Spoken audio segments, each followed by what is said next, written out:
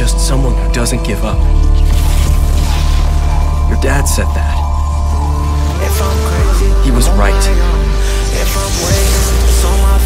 Now it's your turn. Go be a hero, Miles.